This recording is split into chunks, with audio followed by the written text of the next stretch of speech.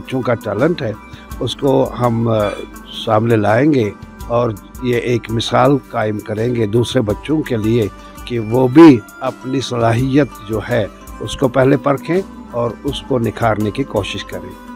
जहाँ तक ये हमारे स्कूल के इतिहास का ताल्लुक है, वो ये है कि हमने तो अपना जो ये लोहा है, मनवाया है बोर्ड रिज़ल्ट्स में, लेकिन खाली बोर्ड रिज़ल्ट्स के बारे में हम परेशान नहीं हैं।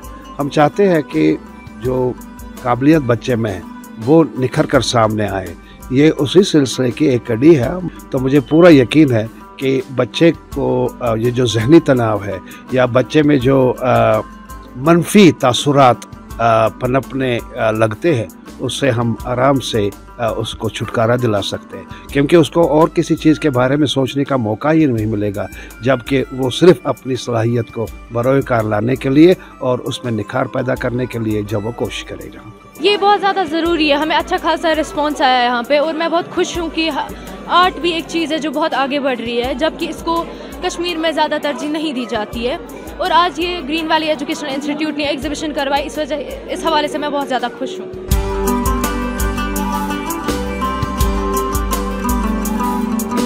देखिए, ये जो आर्ट एग्जिबिशन आज ग्रीन वैली स्कूल ने कल से ये शुरू हो गई। तो this is an awesome activity we should expose the talent of our students ये आप देख रहे हैं कैलीग्राफी डिफरेंट राइटिंग्स में लिखा डिफरेंट पेंटिंग्स बनाई हुए हैं। तो मुझे लगता है कि we are not able to showcase this talent at a higher level तो definitely after coming to this art exhibition I will uh, guide them, I will propose them to do it at a higher level so that our students जो हमारा talent है उनका ये हर जगह पहुँचे। दूसरी बात ये आपने कहा कि ये कैसा होना चाहिए? नेशनल एजुकेशन पॉलिसी में ये अब एक इंक्लूडेड वोकेशनल ट्रेनिंग कोई किसी भी बच्चे को जिस सब्जेक्ट में इंटरेस्ट है, उस सब्जेक्ट को हमें आगे ले जाना है। This is one of the topic features of the new education policy sir ये एग्जीबिशन ऑर्गेनाइज किया था ग्रीन वैली स्कूल ने in collaboration with JK tourism sir यहाँ पे different type of art art works है आर्ट फॉर्म्स है यहाँ पे, जैसे कि पेंटिंग है स्केचिंग है, और मेरा ये बोन काविंग सर इसमें क्या है कि मैं वेस्ट मटेरियल जमा करता हूँ, जैसे कि ये बोन से बना हुआ है कैंडल सर, हम मीट खाते हैं, फिर बोन्स फेंकते हैं हम डिस्कार्ड लेकिन मैं इनको कलेक्ट करता हूँ और यूटिलाइज करता हूँ डिफरेंट थिंग्स बनाता हूँ out of these like we have here ये pen holder made from sheep bones और यहाँ पे आप देख सकते हैं ऑर्नामेंट्स वाइट कलर के, ये भी बोन से बने हुए। और ये जो ब्राउन कलर के, ये वॉलनट वुड से, जो भी हमारा वो कारपेंट्री वेस्ट निकलता है घर से, उनसे ही ऑर्नामेंट्स बनाए। सर, आप देख सकते हैं ये knife this is made from bone buffalo bone sir, फिर आते ही यहाँ स्कल्स पे।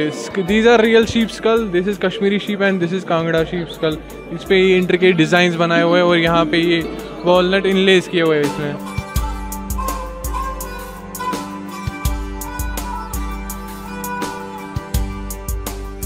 पहले आई वुड से कि response is very overwhelming and I thank my school कि उन्होंने ये एग्जीबिशन कंडक्ट किया। बेसिकली अगर if I talk about my own painting so my paintings mainly revolve around mandala art जो कि आप यहाँ देख सकते हैं। So basically I would say this is very important as in अभी तक तो मेरी कोई रिकग्निशन नहीं थी, अगर मैं अपने एक्सपीरियंस की बात करूँ।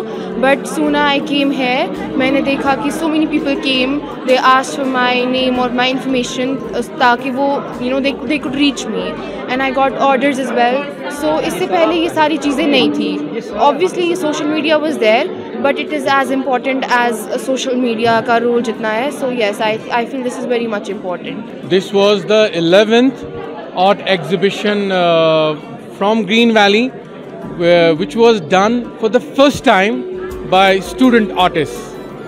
And uh, the theme of this Satrang was uh, dedication of the artists of all Jammu and Kashmir.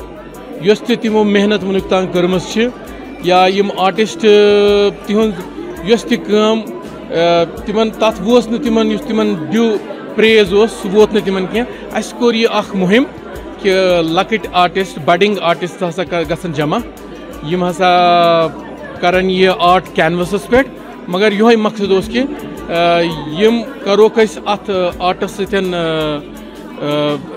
Aware कि this art is very very important मैंने देखा कि सैकड़ों पीसेस ऑफ़ आर्ट हैं जो बच्चों ने यहाँ पे बनाए। मैं तो दंग रह गया। कि इतना खूबसूरत और इतनी क्रिएटिविटी हमारे बच्चों में है, जो मुझे लगता है कि आज तक मैंने बहुत सारी नेशनल और इंटरनेशनल आर्ट गैलरीज में हिस्सा लिया, लेकिन यहाँ जो मैंने देखा हुआ है कि वो बच्चों में बहुत हद तक है।